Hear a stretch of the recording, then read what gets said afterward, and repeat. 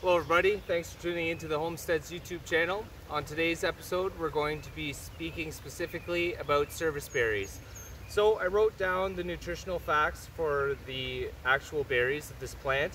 In a 100 gram serving or a little more than half a cup you're going to have 85 calories, 5.9 grams of dietary fiber, 11 and a half to 16 grams of sugar, 42 milligrams of calcium or 11% of your daily recommended intake, which is very good for a berry, very, very good. Uh, 24 milligrams of magnesium, 1 milligram of iron, 1.4 milligrams of mangan manganese, 162 milligrams of potassium, half a milligram of sodium, so very low.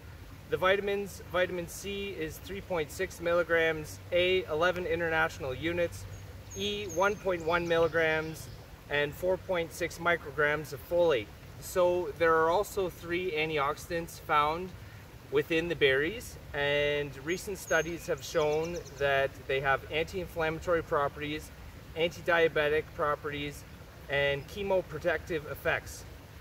Uh, they also protect against cardiovascular disorders and degenerative diseases, both ocular and neurological, specifically Parkinson's and Alzheimer's. Um, these berries, the antioxidants, will improve memory, learning, and cognitive function. Basically, they protect against tissue damage within the um, neural network of your brain. So the communication between regions of your brain and within specific regions themselves. Basically, it's protecting the tissue and the, the sheets um, that help your brain communicate.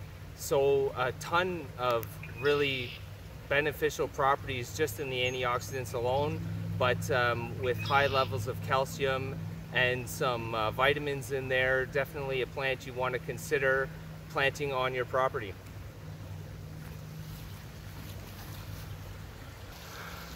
Okay, so now I'm going to get into the specifics of the planting recommendations for this plant.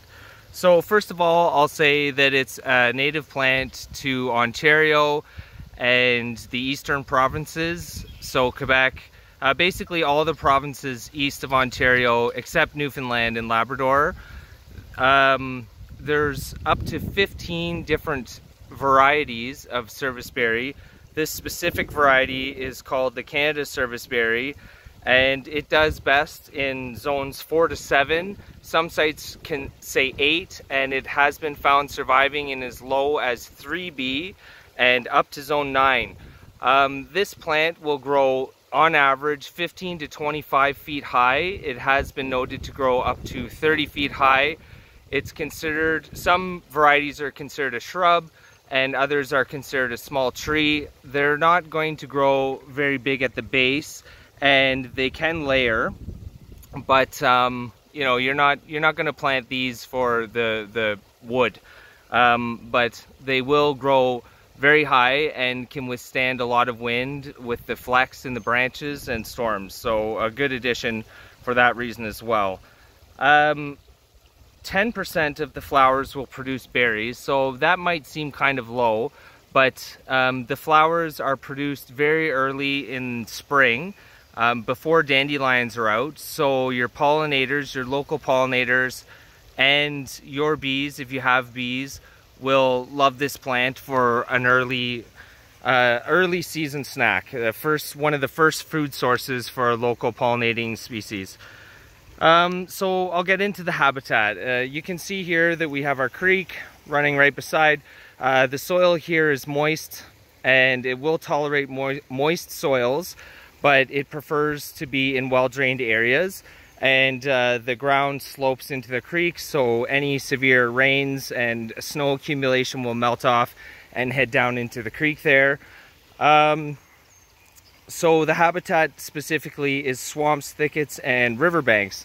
Um, it's going to help with erosion and this will spread out towards the creek so we planted it here to assist with erosion as you can see we don't really do any maintenance in this region and we're trying to plant more and more native flowering species um, so really kind of focused on native species at this point in the uh, lots development or permaculture development um, it's going to tolerate uh, well it, it wants full sun to partial shade but has been found to tolerate full shade in some instances.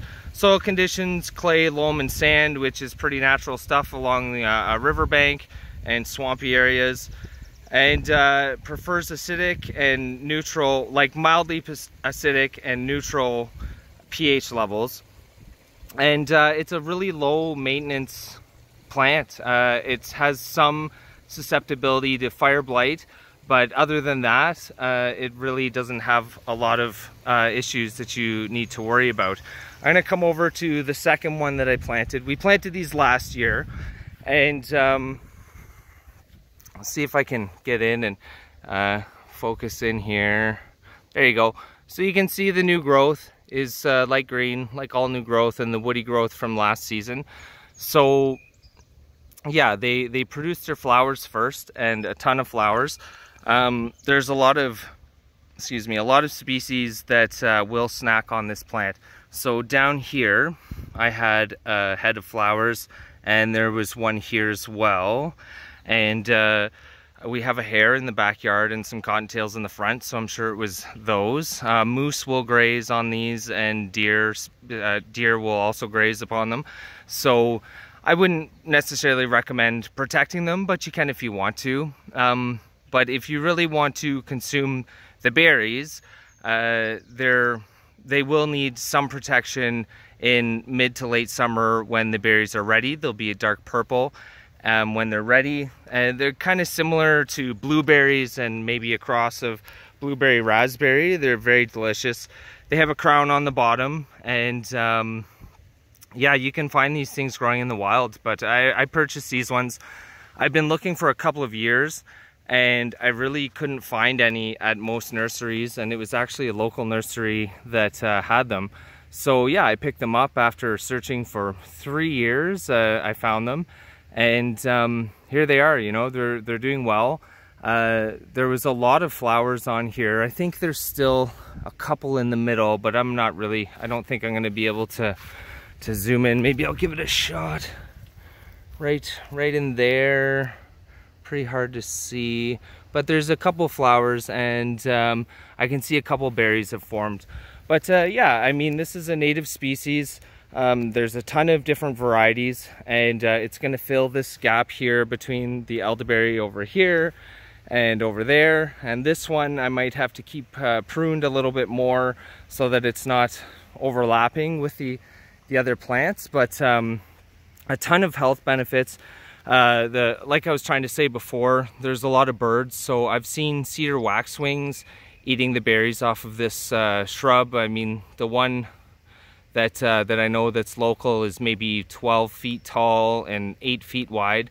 And um, I've seen the cedar waxwings strip it of all berries in basically two days. But, uh, you know, you're supporting local bird populations that uh, could always use our help. Um, it should also be mentioned that there's three native species of butterfly that will lay their larvae on these plants. And uh, so a good butterfly species if that's what you're into.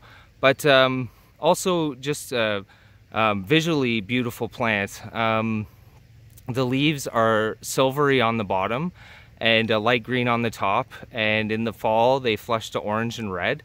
Um, very beautiful plant and something that I would recommend anybody planting if you live within the you know zones four to seven or eight give or take uh, delicious berries and very healthy for you so thanks very much for tuning into the channel everybody I really appreciate it um, we're gonna keep pumping out lots of videos on the things that we've already planted this year and some of the stuff we need to catch up to from last year if you found the video informative at all and you learned something, you could uh, like it for me and maybe share it.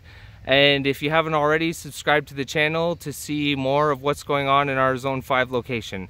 Again, thanks a lot for tuning in. Have a great day and take care of yourselves.